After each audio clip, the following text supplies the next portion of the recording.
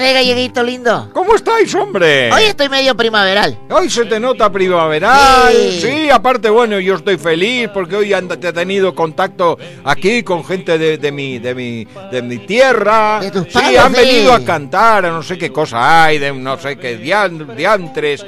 Y, y bueno, y han venido a cantar Vinila Bombismar, eh, que en sí es Irene López, y, y han venido también los otros de Apartamentos Acapulco, y Ah, todo, mierda. unas gentes que hacen una música de, pero de hostias, de putísima madre, eh, no los conocen ni en la casa, porque ni familiares tienen, pero así todo, maravilloso, maravilloso. A ti que bueno le están haciendo la promoción, a ver si... eh, ¿Sabes qué pasa? Que en España ya no queda nada para robar. Ya se han robado todo. Entonces esto vienen a robar algo, lo poco que nos queda a nosotros. Ay, gallego, Es, pero muy lindo, muy lindo. espero que esta gente no nos esté escuchando, ¿no? Porque si no... Bueno, pero sí, ellos tienen que escuchar todo, así que bueno, es mi dedicatoria a Vinila. ¿Cómo se va a llamar Bombismar una, una gallega, hombre? Pero por favor, dejémonos de gilipolladas. Bueno, H, se ha ido Jorge, les- pero le- les dejo aquí, me, me ha dejado el papelito. Vamos a hacerle el chivo otra vez, ¿eh? Al comedor Ah, comunitario. cierto, Ese, ese hay que hacerlo siempre. Anoten, viejo, anoten, le pido por favor, eh. Los Papel y zapatos... lápiz. Los zapatos de Don Arturo. Los zapatos de... es un comedor comunitario. ¿eh? Eh, le dan de morfar a los niños. Bueno, llantar. Le dan de comer a los niños. De, eh, a más de 180 niños en el almuerzo y luego le dan la merienda. Está en la calle, aquí nomás, en la calle Bermejo, 1056, en San Andrés. Es el partido de San Martín, pero estamos muy cerquita. Así que, por favor, a todos los que puedan colaborar, eh, está les voy a dar un, celular. Eh. El celular es de Leonor Piñeiro, eh, de Leonor, que, bueno, ella es la- el alma mater de este comedor. Es el 15 60 56 54 54. Se los voy a repetir, eh, como si hubiera comido ajo. Repitia. Sí, como si fuera Guado de Pedro. Lo voy a repetir. 15 60 56 54 54. Pregunten por Leonor y a ver si pueden darles una mano, ¿eh? Gracias. Así es. Así que espero que hayan anotado todo, lo- la, la dirección y todo lo de los. Sí, hombre, todos aquellos que les sobre cualquier cosa, sobre todo comida, no perecedera, lo que cuando sea. Sí, señor. A ver, Santiaguito, por favor, me pone la musiquita para empezar con esto. Este espacio Esto es, esto es justo, ¿eh? La primavera Esa. de Vivaldi, hombre. es... ¿De quién? Vivaldi, el que lo escribió, que Vivaldi. hace mucho que no, no hablaba de este. Bueno, sí, pero se te olvida. eh, Son discusiones que hemos tenido hace años. Hombre, Vivaldi, las cuatro estaciones. Esta es la primavera, ¿eh? Sí, Vivaldi. señor. Esta es la primavera, después viene el verano, el otoño y el invierno. No, bueno, sí, hombre, sí. ¿Cómo que no? Sí. Sí, sí, hombre, sí, así. sí. Bueno, como decíamos. De puros rutinarios. ¿De, de quién? Nada, nada. Ah, bueno, no, porque no se evite todo eso.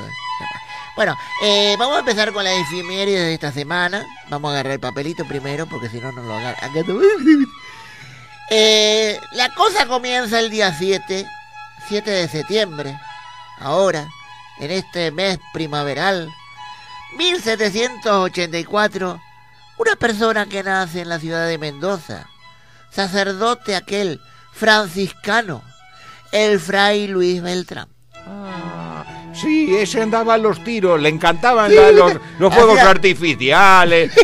y en sus ratos libres hacía cañones. Justamente, era el que Claro. fundía todo, viste, lo... lo, lo Claro, sí. A ver, traigan don- que jundimos acá. Claro, este Fray Luis era maravilloso. Esos son los curas que a mí me gustan. Sí. Tú sabes que a mí los curas no me caen, ¿no? No, de este- ningún este tipo de sotana. Últimamente lo de sotanas negras, peor todavía. Pero, pero este, este me caía simpático. Este fraile, un fraile que andaba ahí por la vida. Y bueno, lógicamente, mi raza, mucho que digamos, no está contenta con don Fray Luis, porque bueno, se cargó con unos cuantos godos. En Eso aquella sí, época eso sí. nos llamaban de esa manera, ¿verdad? Mira, vos, vos, vos sabés que eh, esta, esta niña, viste, esta chica, la, la Sí, que nos está siguiendo, viste. La- la fan. La Ladi, la Ladi. Sí, sí, La Ladi. la ladilla. Sí, la, no, la Ladi. Ah. Que algunos le dicen Lady. Para mí la Ladi, porque acá Ah, dice está Ladi. bien, Ladi, hombre, está bien, yo te está, entiendo. Está publicitando lo de los zapatos de don Arturo. Los zapatos de don. Sí, bueno, ¿viste? muy bien, muy Que bien no- lo que no tiene que no- hacer. No, me le hagamos la cojogancia porque no me gusta ese de Arturo, ¿viste? Pero, bueno, ay, si son los zapatos, así se llaman, los zapatos de Don Arturo. bueno, vamos a ir con la efiméride porque si no nos fuimos al demonio. 1810, Mariano Moreno funda la, la Biblioteca Popular de Vicente, de Vicente López. No de De. Buenos Aires, hoy la Biblioteca Nacional. Exactamente, ¿eh? ojo que es una maravilla. Es linda. Pon- no, no, pero es que ponte a pensar, Sí. lo primero que hizo Mariano Moreno, luego de una revolución sangrienta, porque la, la revolución de Mayo, eh, hostias, que, que dio vuelta con el planeta, ¿verdad? Y sin embargo el tío lo primero que hace es fundar la biblioteca. Sí, o sea, evidentemente tenía, tenían una mente algunos mu- muy, superior, mucho Gallego, más ¿De avanzada. dónde sacaba los libros en esa época? Porque muchas... Su- eh, bueno, tienes que saber que había muchísimo contrabando. ¿Ah, sí? Y muchos libros habían venido de España. Aquí no se imprimía absolutamente nada. ¿eh? No, acá todo lo que se imprimía acá era todo medio... No, no, aquí no había nada. no. Era todo trucholi. Bueno, así llegamos al día 8 de 1944, Día del Agricultor. El día 28 de agosto de 1944, por el decreto 23, 13, 17. Esto es lo que me pusieron acá para No, decir. pero eso no hay El que día del leerlo porque agricultor, a la gente no le interesa. No, por eso. Ya fue el día del Eh, agricultor y déjense El jorobar. decreto, el número del decreto y el... eh, Ah, donde bueno, no les da el esto fue hombre. por Ahí. eh, no sé qué de la agricultura y todo Sí. eso. Bueno, 1978 espicha en Buenos Aires el director cinematográfico. Cinematográfico, cinematográfico. Ese eh, de películas, hacía Esta hacía películas. película, ¿eh? ¿Por qué no, Sí, pero ¿por qué bueno. no me ponen lo... Señores, por favor, lo que pasa en la infirmería, póngame lo que hacen películas. Es más fácil para mí, para mí, ¿viste? Quédate tranquilo, Bueno, hombre. El Leopoldo como la- Torres Nilsson. Ah, el petizo. No, Nilsson. Nilsson, sí, era pelado, usaba anteojos negros. Siempre sí, se ve que no veía un pomo.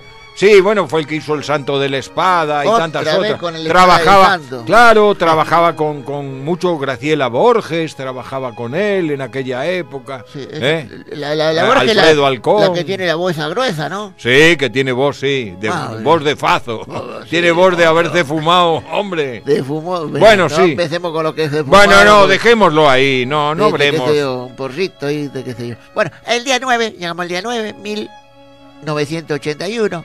Otro que es picha, pero este en la ciudad de La Plata, provincia de Buenos Aires. Prestigioso político radical, y ahí sí me pongo de pie. Ah, don el Ricardo. Ricardito Balbi. Ah, el chino. El chino. Pobre chino, qué mala, qué mala suerte, puntería, Qué eh. mala suerte tuvo. Qué mala Le puntería. chicó por unos años, ¿eh? Sí, el hombre siempre, claro, cuando no se presentaba, ganaba el radicalismo. Cada vez que se presentaba, algunos dicen que era una piedra, porque Sí, algo, algo de eso tenía que haber habido, ¿eh? Claro. Pero sí, puede ser, ¿viste? Pero bueno. Pero Recuerdo el pobre. escándalo de su muerte, cuando entraron, ¿recuerdas? A fotografiarlo Sí, en sí. el lecho de muerte, Pobre. todo entubado, y lo pusieron en la, en la tapa de las revistas semanales. Buah, una vergüenza, una vergüenza. La verdad que sí, eso hay que re- reconocer que no se puede hacer. No, Porque aparte, una hay- persona tiene que, haber un límite. Sí, O- sí, sí, Hoy los límites no existen. No. Pero en aquella época, cuando, cuando murió don Ricardo, sí, todavía los límites, la prensa tenía algunos límites. Y eso, bueno, evidentemente tiró a la mierda con todos los límites. Sí, señor, sí, señor. Bueno, así llegamos al día 11. Día 11 de 1888 se festeja o, o se implementa o se incluye eh, eh, eh, la fecha como memorial por la muerte de, de- del De Domingo, Domingo Faustino, Faustino, sí. eh, el Día del Maestro. El día del maestro. Que eso, tienen razón los viejitos eso. ¿Por qué siempre festejamos cuando... Festejamos cuando se muere? Bueno, se festeja, se Qué conmemora. chanta que son, ¿viste? Pero bueno, uno dice festivo porque todo, ¿viste? Le tenemos que llevar regalito a la maestra y todo eso. ¿Viste? No, no la manzana, ¿eh? Porque ya no se acostumbra. a No, man, hoy le llevas una manzana Te y te la dan por el culo, hombre. No sé, no sé, no sé porque con los precios que tiene. No, sé. hombre, no, No por sé. favor. ya. Bueno, en 1910 nace en Buenos Aires el destacado novelista, cuentista, crítico de, de- de arte, el Manuel Mujica Laire. ¡Ay, Manucho! El Manucho, Ah, sí. bueno, ha escrito cosas lindas. Ay, ay, no todo me gusta de lo que ha escrito, pero bueno, el Manucho. La misteriosa Buenos Aires. Misteriosa. Buenos Aires. Ah, sí, bueno, sí. ha dado pie muchas, a, a unas cuantas películas. Torre Nilsson hacía películas con, con, lo- con los libros de Manucho. El Aniceto y el Gallo. Claro. Este, oh, sí, obvio, sí. Bueno, lindas cosas había, había escribido este hombre. Bueno, 1950, Día del Autor, relacionado justamente a- al, al Manucho este. Bueno, el día 12, día 12, llegamos al día 12 de 1958, durante la gestión del ministro de Educación y Justicia, el doctor Luis R. McKay, se sanciona la ley 14473 que establece eh, el estatuto docente. Mira vos, esta- el estatuto docente en 1958. Bueno, no sé, porque todavía no le dan bola al estatuto. Hacen lo que se le da la gana. Bueno, viste, pero bueno. Y así es como llegamos, después de mucho tiempo y que pasan las cosas, a un día como hoy. ¿Viste? Un día como hoy, pero en 1954, día del vitri- bibliocario. Del biblio- eh, bueno, está bien, el día de la Biblia. Sí, bueno, si Moreno había puesto, había inaugurado la biblioteca en un día como hoy, El- el lógicamente bibli- el, día del bibliotecario. el no hubo mucho mucho cerebro para elegir, Bueno, pero, viste, evidentemente. pero bueno, no, está bien. Y se hizo el bibliotecario ese. No me sale esa No, está bien. Va, lo que están los, los libros, que déjense jorobar, ¿viste? Bueno. Y a mí se me acaba la efeméride, porque tenía poca efeméride. ¿eh? Hoy tenías poca. Sí, la verdad que muchachos, a ver si se me esperan un poquito. No, me yo no, esperan por, un por poquito ejemplo, más. bueno, hoy, ¿sabes? Por ejemplo, hoy es el día. Del, del bailarín de folclore. Ah, No me digas. Sí, porque hoy, hoy es el día del nacimiento de- del chúcaro. Hoy sería el cumpleaños del Sí, chúcaro. el chúcaro que, que la viola, no sé qué hizo. Y Norma, la- Norma Viola y el chúcaro. ¿Pero que la violó? ¿Cómo es? no, era no, Norma Viola, se llamaba así, Viola. Ah. Tampoco era una guitarra, hombre. Era, era- claro, sí, era una mujer. Ay, bueno, así que bueno. muerta es, Eh, es la guitarra bueno, hoy es el día. Pero mujer. bueno, en un Ay, día como hoy, pero en Italia, eh, y en un año hace bastante, en 1503, Ajá, 1503. sí, Miércoles. Mi- Miguel Ángel Buonarroti, eh, Este- más conocido por Miguel Ángel. El apellido no lo ponía, no lo escribía generalmente. Este no, Con- esca- no escribía, este no, pintaba. No, ¿eh? este hacía, sí, más, más que pintar, Miguel Ángel lo que hacía era, era también hacer unas estatuas maravillosas.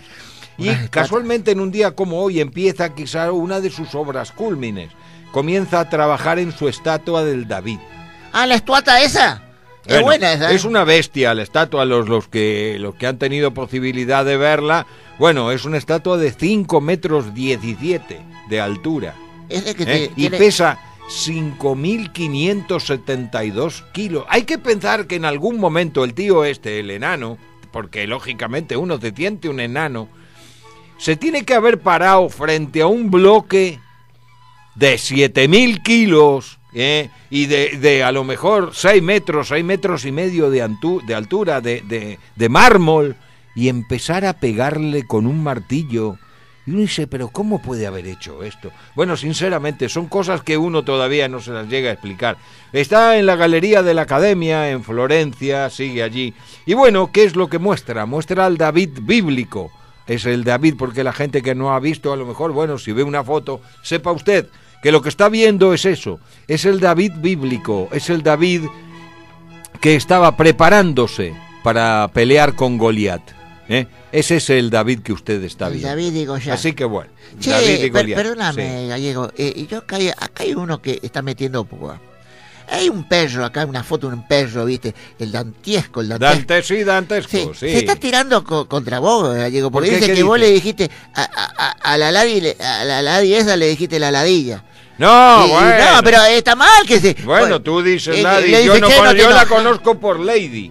Bueno, yo la conozco por Lady. Tú como tienes, estás negado, empiezas Lady, Es Lady, es Lady. que a mí, a mí escríbame, pónganle L-E-D-I y yo le leo. No, Lady. está bien, ya Si hemos discutido varias veces por eso, bueno. No, pero este, este está metiendo púa, ¿eh? Bueno, Está sí, pero es un hombre que se dedica a eso. En la provincia, el tío está metido en los medios de, de- de- los esteros, ahí en, en- en Entre Ríos. Ah. Y esta gente, la gente así ¿Está panza, con la hierba mate? La gente panza verde es, es embromada. Es embromada. Uno tiene que saber que, bueno, se dedican a eso. Pero bueno, son. eh, quédate tranquilo, que en, Ah, uno- bueno. en unos minutos ya se va a dormir la siesta. Y es lo que hace habitualmente. Así que bueno. eh, en 1692, en un día como hoy en la provincia de Salta, se registra, que tú no lo has dicho, porque tendría que haber sido una efeméride del día de hoy. Ah, a ver. ¡Ah! A ver, a ver. Se registra un terremoto de 7 grados en la escala de Richter, Está- que hace desaparecer a una ciudad entera. Guau. La ciudad de Nuestra Señora de Talavera de Esteco desaparece íntegra y hay miles y miles de Y, muertos. Pero es lógico que yo no la pudiera nombrar esa. No, no, ¿Y si pero desapareció? traes el día del bibliotecario, no sé cuántas Y pero gilipollas si- más. si algo Hombre, por lo menos, si uno tiene esto, dice, bueno, y Pero esto ocurrió aquí en el país. Desapareció. ¿Para cómo me decís de este co? ¿De este qué o qué? qué? Nuestra Señora de Talavera de Esteco. Mirá vos la En mil ce- talavera. ojo, este- en 1692. Claro, qué miércoles. ¿no? virreinato. Y vos me decís que era de acá 1600 y pico. Buah. Bah. Y un día como hoy, pero en 1922, a 55 kilómetros de la ciudad de Trípoli. Trípoli es la capital de Libia, ¿eh? en el norte del África, ¿eh? bañado por las aguas del, del Mediterráneo, ¿verdad?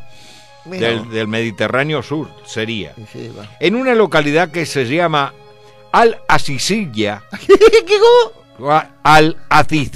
Aci- Acicilia, con Y, Acicilia, Al-Acicilia. Eh, una comunidad de 100.000 habitantes en esos momentos. La temperatura alcanza los 57,7 grados a la sombra, A la miércoles. siendo el récord mundial aún hoy en la historia, desde que se miden las temperaturas. Nunca más hubo 57,7 grados. Es más, no han, no, no han, supongo que no lo han medido al sol porque el que sacaba la mano se le derretía, hombre. Para mí que esto, eh, eh, se dejaron el horno prendido. Sí, una, una locura, Ah, una locura. che. Así que bueno, y que ya con esto estamos, estamos hechos. ¿eh? Bueno, gallego, vamos. Sí, estamos para irnos al diablo. Sí, Sí, sí. porque Jorge quería hablar de no sé qué, de, de lo que ocurrió ayer, eh, con esto de la, la corriente clasista y no sé qué cosa. Ah, lo, lo- Ah, los lo- piquetas y eso, sí. bueno, pero eh, vamos. Bueno, bueno, vamos, no, y lo dejamos a él. Adiós. Chao, eh. eh, chao. El jueves que viene nos